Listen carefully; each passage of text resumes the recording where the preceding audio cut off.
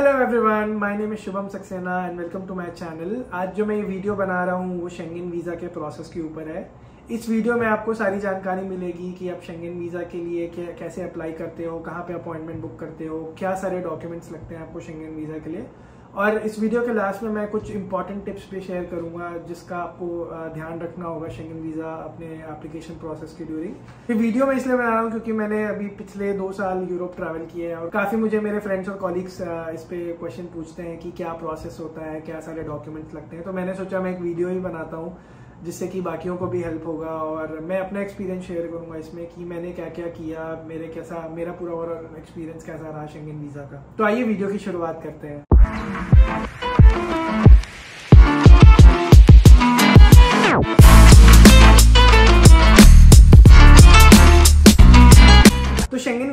Process के पहले समझते हैं कि शेंगन वीज़ा होता क्या है। तो शेंगन वीज़ा जो है वो आ, आप उसको यूरोपियन वीज़ा भी बोल सकते हैं। तो आप उस एक वीज़ा से अराउंड 29 यूरोपियन कंट्रीज़ ट्रैवल कर सकते हैं। तो आपको स्क्रीन पे दिख जाएँगी कौन कौन सी कंट्री शेंगन वीज़ा एक्सेप्ट करती हैं। तो शेंगन वीज़ा में भी डिफरेंट टाइप्स ऑफ़ वीजाज होते हैं। Long term Schengen visa short term Schengen visa जो ट्रैवल और टूरिज़्म के लिए यूज़ होता है वो शॉर्ट टर्म शेंगन वीज़ा होता है। और उसमें भी आपके पास चॉइसेस होती हैं या तो सिंगल एंट्री शेंगन वीज़ा के लिए या multiple entry single entry Schengen visa का मतलब है कि आप एक बार शेंगन रीजन में जाएँगे और अगर आपने वहाँ से एग्जिट किया तो आप दोबारा नहीं जा सकते। इवन अगर आपका वीज़ा का वैलिडिटी और आगे तक है, फिर भी आपको वापस दोबारा एंट्री नहीं मिलती। मल्टीपल एंट्री का ये फ़ायदा होता है कि आप एक बार अगर शेंगन रीजन एग्जिट करते हैं तो आप वापस दोबारा अंदर जा सकते हैं during of course the tenure of your visa Schengen visa के लिए आप डायरेक्टली एम्बेसी को नहीं रीच आउट कर सकते हो। शेंगन वीज़ा के लिए बीच में एक ब्रोकरेज कंपनी है वीएफएस ग्लोबल नाम की, जो ये सारा प्रोसेस हैंडल करती है। तो आपको वीएफएस ग्लोबल की वेबसाइट में जाके अपना अपॉइंटमेंट शेड्यूल करना होता है। तो शेंगन वीज़ा के प्रोसेस के पहले आपको ये डिसाइड करना होगा कि आप कौन सी कंट्री के थ्रू शेंगन वीज़ा अप्लाई करना चाहते हो। तो जनरली जहाँ पे आपका स्टे सबसे लॉन्गेस्ट रहने वाला है आपके ट्रिप में, जिस भी कंट्री में, आप यूजुअली उसके एम्बेसी के थ्रू अप्लाई करते हो शेंगन वीज़ा और लेट से अगर आपका जो स्टे है वो इक्वली डिस्ट्रीब्यूटेड है अक्रॉस सारी कंट्रीज़ उस केस में जिस कंट्री से आप एंट्री कर रहे हो शेंगन रीजन में, आप वहाँ से वीज़ा अप्लाई करते हो। तो एक बार आपने डिसाइड कर लिया कि आप कौन सी कंट्री के थ्रू अप्लाई करना चाह रहे हो, उसके बाद जो नेक्स्ट स्टेप आता है वो अपॉइंटमेंट बुक करने का होता है। तो जैसे कि मैंने बताया शेंगन वीज़ा आप वी ग्लोबल के थ्रू करते हो तो वीएफएस ग्लोबल के अलग अलग वेबसाइट्स है for each of these countries तो अगर आपको लेट्स फ्रांस का फ्रांस के थ्रू अप्लाई करना है या जर्मनी के थ्रू अप्लाई करना है तो जो उसका वेबसाइट है वो अलग अलग है वी का। उस केस में आप सिंपल एक गूगल सर्च कर सकते हो वीएफएस ग्लोबल और फिर उस कंट्री का नाम जहाँ से आप अप्लाई करने वाले हो। और वो करते साथ आपको लिंक मिल जाएगा उस वेबसाइट का। वहाँ पे जाके आपको अपना लॉगिन क्रेडेंशियल्स बनाने हैं, अपनी ईमेल आईडी और पासवर्ड क्रिएट करना है। एक बार आपका लॉगिन क्रेडेंशियल्स बन जाते हैं, उसके बाद आप अपॉइंटमेंट बुक करने का प्रोसेस शुरू कर सकते हो। तो वहाँ पे आपको मेंशन करना होगा आपका नाम आपका ईमेल आईडी आपका पासपोर्ट नंबर और फिर आप वहाँ पे आपको चूज़ करने मिलेगा सब कैटेगरीज तो अभी शॉर्ट टर्म शेंगन वीज़ा के अंदर भी कुछ अलग अलग सब कैटेगरीज होती हैं, जैसे कि आपका जो पर्पस ऑफ़ विज़िट है वो क्या है? आप ट्रैवल के लिए, आप टूरिज़्म के लिए जा रहे हो या आप किसी फैमिली को विज़िट कर रहे हो या फिर आप बिज़नेस ट्रिप के लिए जा रहे हो? तो उन सब कैटेगरीज में आप कोई भी एक सब कैटेगरी चूज़ कर सकते हो अपॉइंटमेंट के टाइम पे। सब कैटेगरी के टाइम पे जब आप अपॉइंटमेंट बुक कर रहे होंगे तो जो भी आप सब कैटेगरी चूज़ करते हैं ज़रूरी नहीं है आप उसी सब कैटेगरी में अपना एप्लीकेशन फॉर्म भी भरें। ये मेरा पर्सनल एक्सपीरियंस रहा है। मैंने एक बार मेरे साथ ऐसा हुआ था कि मैंने टूरिज़्म के लिए बुक किया था बट मुझे रियलाइज़ हुआ कि मुझे फैमिली विज़िट के लिए अप्लाई करना चाहिए था। तो अपॉइंटमेंट बुकिंग करते टाइम आप कोई भी सब कैटेगरी चूज़ कर रहे हो, अगर आपको वो चेंज करना है तो आप अपने एप्लीकेशन फॉर्म में प्रॉपरली मेंशन कर दो आपकी नई सब कैटेगरी तो उसमें कोई प्रॉब्लम नहीं होती है, आप वहाँ पे जाके जब वीएफएस में डॉक्यूमेंट सबमिट करोगे तो वो लोग एक्सेप्ट कर लेते हैं। और नेक्स्ट स्टेप में आपको मिल जाता है कौन कौन सी डेट्स अवेलेबल है अपॉइंटमेंट के लिए। तो जो भी डेट्स अवेलेबल है, वो आप चूज़ कर सकते हो और उसके बाद फिर आपको एक कंफर्मेशन रिसीट मिल जाएगी। अच्छा सबसे यहाँ पे इम्पोर्टेंट बात यह है कि जब आप अपॉइंटमेंट बुक करने होते हो, तब भी आपको एक पेमेंट करना होता है कुछ एक थोड़े अमाउंट का।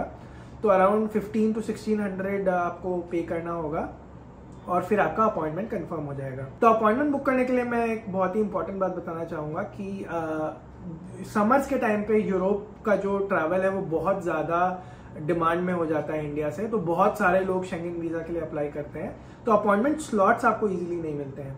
तो मैं ये रेकमेंड करूँगा, अगर आप अपना जो यूरोप का ट्रिप है, वो आप मई जून जुलाई अगस्त इन मंथ्स के अराउंड बनाना चाह रहे हैं तो आप जो अपॉइंटमेंट बुकिंग का प्रोसेस है, ये आप जनवरी या फेब्रवरी में ही कर लें। अगर आप जनवरी या फरवरी में अपॉइंटमेंट डेट बुक करने का प्रोसेस शुरू करेंगे तो आपको कहीं ना कहीं अप्रैल के अराउंड का अपॉइंटमेंट स्लॉट मिलेगा। तो इसलिए मैं रिकमेंड करूँगा जितने जल्दी आप शुरू करेंगे प्रोसेस उतना बेटर है आपके लिए।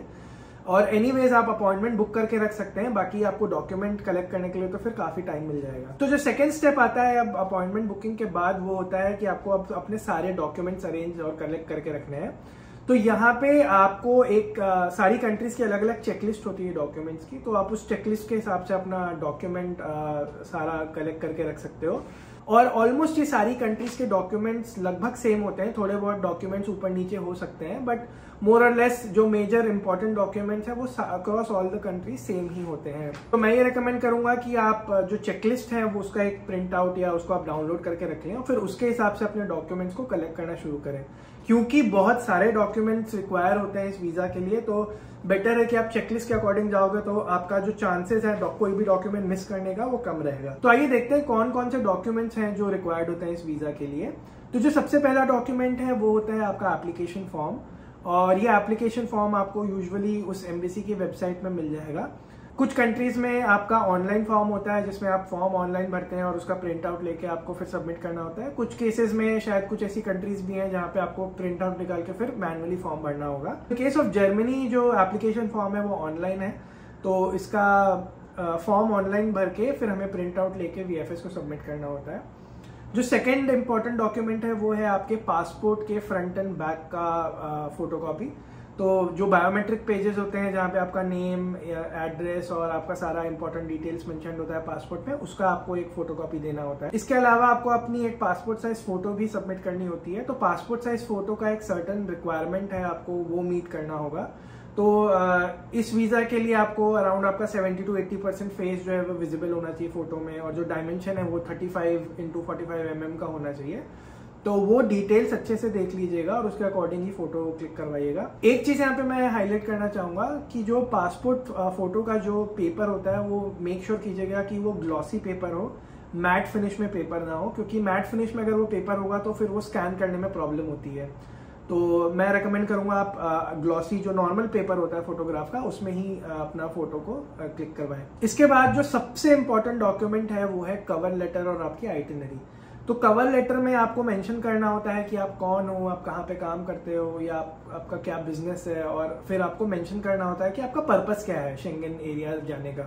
तो आपको वो बहुत ही क्लियरली लिखना होगा कि आप ट्रैवल करने जा रहे हो आपका क्या प्लान्स है कहाँ कहाँ ट्रैवल करने वाले हो और आप रिटर्न कब हो रहे हो वापस इंडिया तो ये सारी चीज़ें आपको मेंशन करनी होगी अपने कवर लेटर में।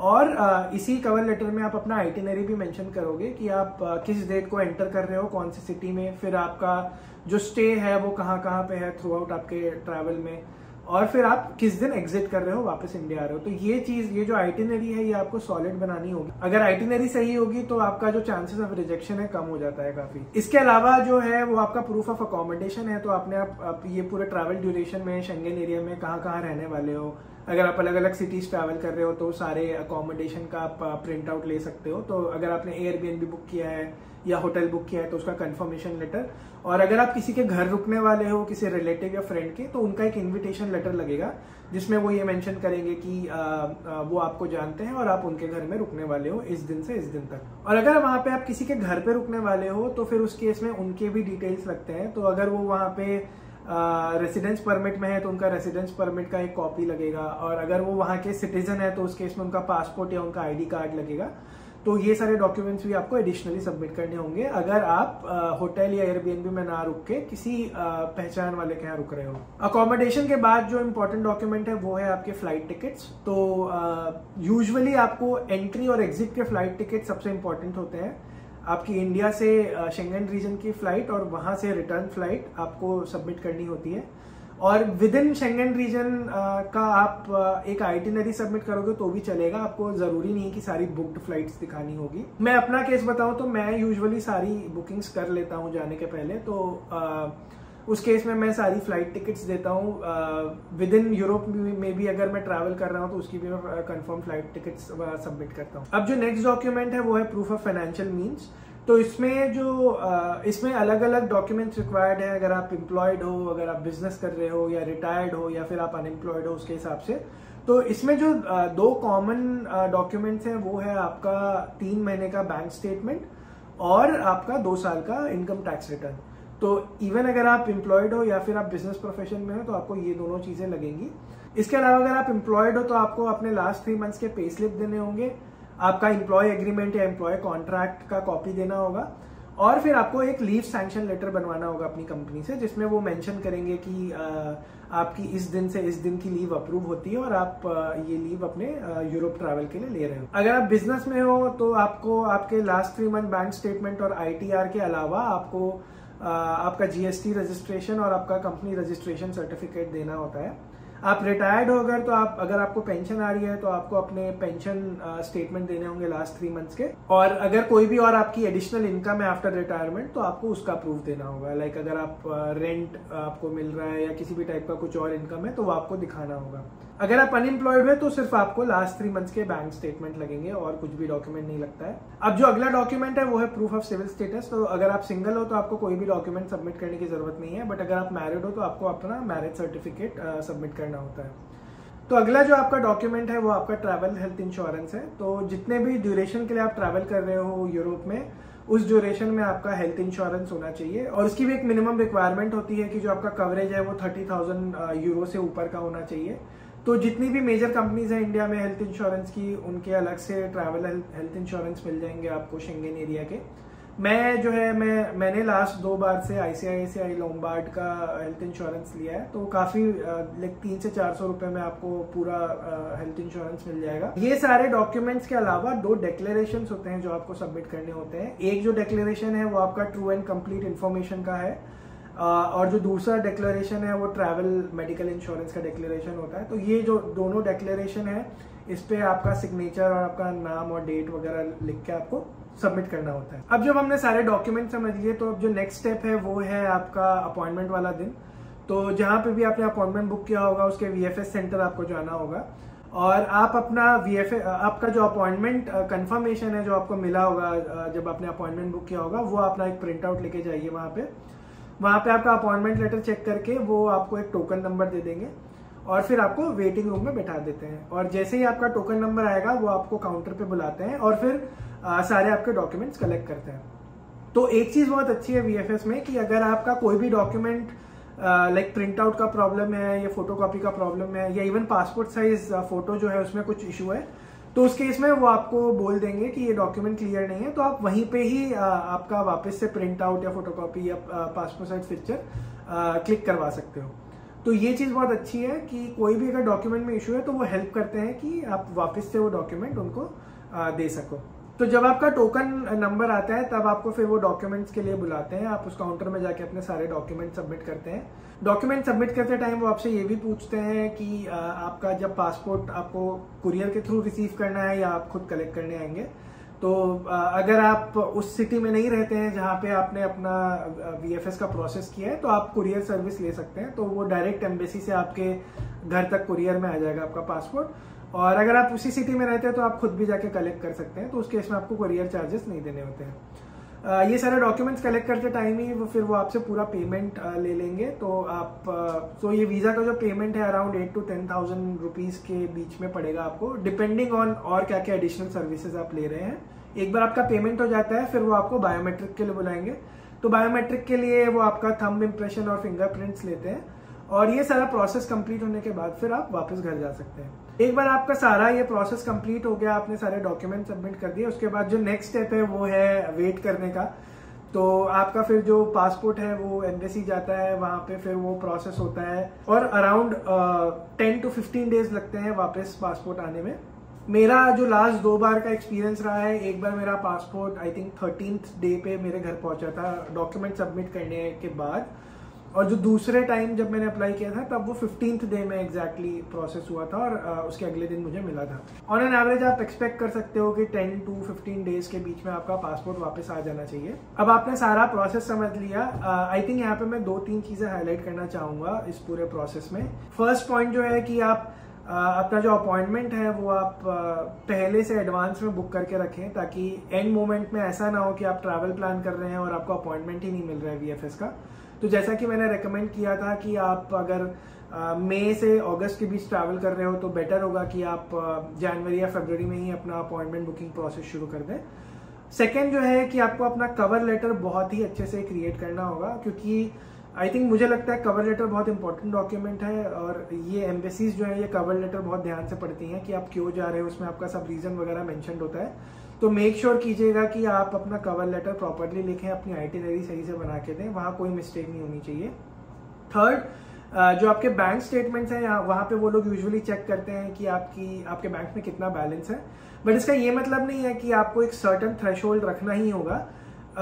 ऐसा होना चाहिए कि आपका बैंक में बैलेंस ठीक ठाक दिखना चाहिए और मनी का मूवमेंट होता रहना चाहिए। लाइक अगर आप सैलरी हो तो ऑफकोर्स आपकी सैलरी हर मंथ आ रही होगी, फिर आप उसको खर्च भी कर रहे होगे।